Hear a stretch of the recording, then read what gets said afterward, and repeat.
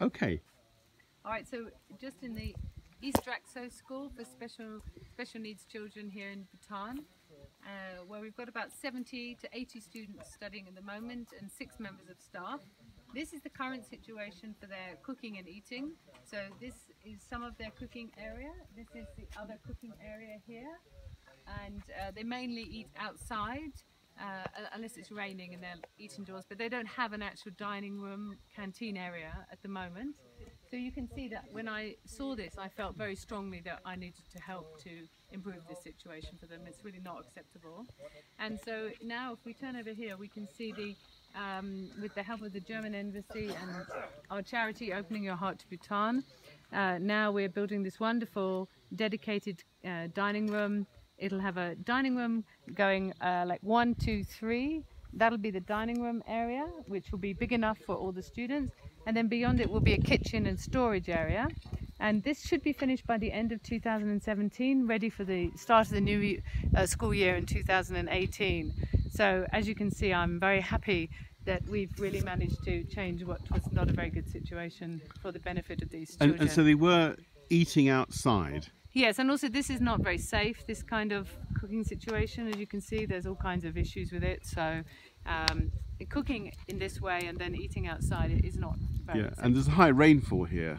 High rainfall at certain times of the year and also very cold mm. at certain times of the year because we're still at altitude here. So yeah. um, uh, I think it's very important that they have this, you know, every school should have a dining room and a canteen, right? so, so I think we need to make sure they have one too. Uh, but and, we're, we're nearly there now, and, and, and these, we've nearly done it, haven't we? So we're on our way, yeah. And, and, and these facilities, of yeah. course, should be accessible to the students. Could you tell me something yeah. about how you're going to do the wheelchair access well, to these places? Well, we still have one more building project for this school before it's complete. Then it'll have classrooms, two hostels, dining hall, canteen and storage area. But we also need to build an administration block with a library and a spare room for perhaps doing physiotherapy for some of the children.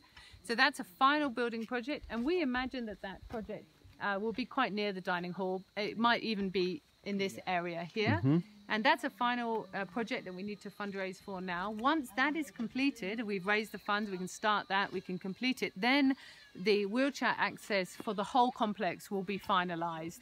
Uh, you can see up there, we've already put wheelchair access with proper railings for safety in at the top of the school. Once the remaining complex of the school is completed, we will extend that wheelchair access around the school because 15 to 20% of the children here definitely are in a wheelchair and some of them have uh, some mobility problems uh, beyond that 20%.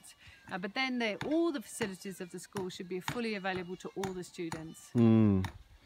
And um, really, uh, this is a mountainous area, so yeah. if they can get used to using their wheelchairs mm. here, mm. they should be better outside. Yes, and of course it's very nice for the school because it's another example of how the children help each other in these mm. schools.